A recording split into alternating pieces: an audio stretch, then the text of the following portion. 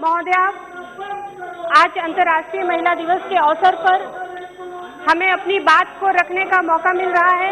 मैं इसके लिए आभार व्यक्त करती हूँ और साथ ही साथ अपने विपक्ष साथियों को ये भी कहना चाहूँगी कि साल में एक दिन यदि महिलाओं को मिलता है और इस लोकसभा अध्यक्ष जी ने, यदि हम महिलाओं के नाम पर एक दिन दिया है, उस पर चर्चा करना चाहते हैं तो हमारे विपक्ष को उसका सहयोग करना चाहिए, ना कि महिलाओं के हक और अधिकार को छीनने के लिए यहाँ पर खड़े होकर के नारेबाजी करने का काम करना चाहिए। महोदया, मैं बहुत बड़ी बड़ी बात तो नहीं करूँगी, लेकिन आज महिलाओं के साथ जो वास्तव में हो रहा है, मैं उस पर चर्चा ज़रूर करना चाहूँगी, क्योंकि वो जो महिलाओं के साथ हो रहा है, वो कहीं ना कहीं विपक्ष के द्वारा उन चीज़ों को बढ़ावा दिया जाता है।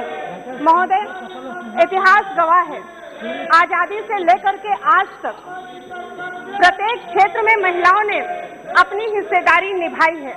और हिस्सेदारी ही नहीं, बल्कि अपने, उन्हें अपने कर्तव्यों को बखूबी निभाने का काम किया है।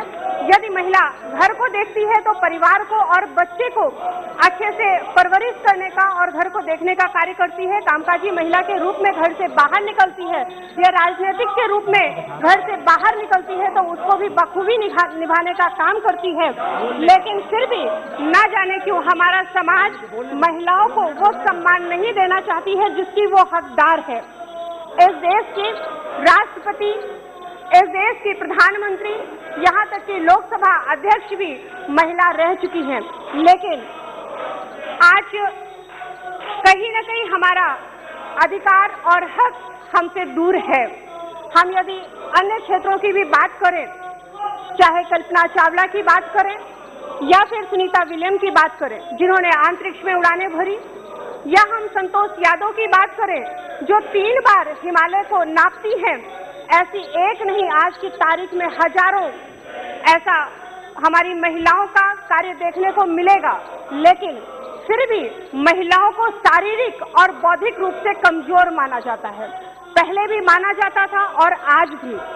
जबकि अगर महिलाएँ कमज़ोर होती तो आज शिक्षा का अधिकार हम सबको दिलाने के लिए माता सावित्री बाई फुले ने जो लड़ाई लड़ी और उस लड़ाई को लड़ करके हम सबको शिक्षा का अधिकार दिलाने का काम किया, वो अधिकार वो हम सबको नहीं दिला पाती यदि वो शारीरिक और मानसिक रूप से कमज़ोर होती।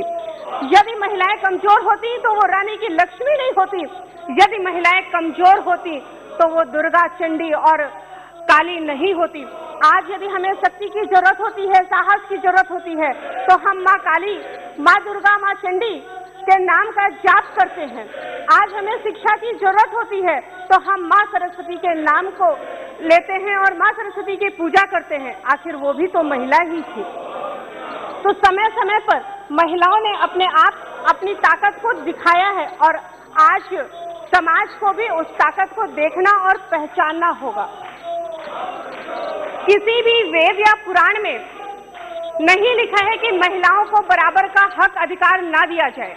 लेकिन हमारा समाज कहीं ना कहीं आज जिन वेदों और पुराणों को मानता है, उनकी भी अनदेखी करने का काम करता है और महिलाओं को पीछे रखने का काम करता है। तथागत भगवान बुद्ध ने भी महिला और पुरुष को शारीरिक एवं मानसिक एवं आध्यात्मिक रूप से बराबरी का दर्जा देने का काम किया था और उसी कड़ी में यदि हम सनातन की भी बात करते हैं तो गौरी पार्वती, गौरी शंकर की बात करें, सीताराम की बात करें या राधे कृष्ण की बात करें, हर जगह महिलाओं को ही बढ़ावा दिया गया, लेकिन आज वो इस समाज को स्वीकार नहीं है। महोदया, लोग कहते हैं महिलाएँ कमज़ोर होती हैं। यदि महिलाएँ कमज़ोर होती तो महिलाओं के द्वारा पुरुष की जो उत्पत्ति होती है, वो उत्पत्ति का अधिकार महिलाओं को नहीं, बल्कि पुरुष को दिया गया होता। आज महिलाएँ जननी हैं। और उसी जननी को कमज़ोर का दर्जा दिया जा रहा है।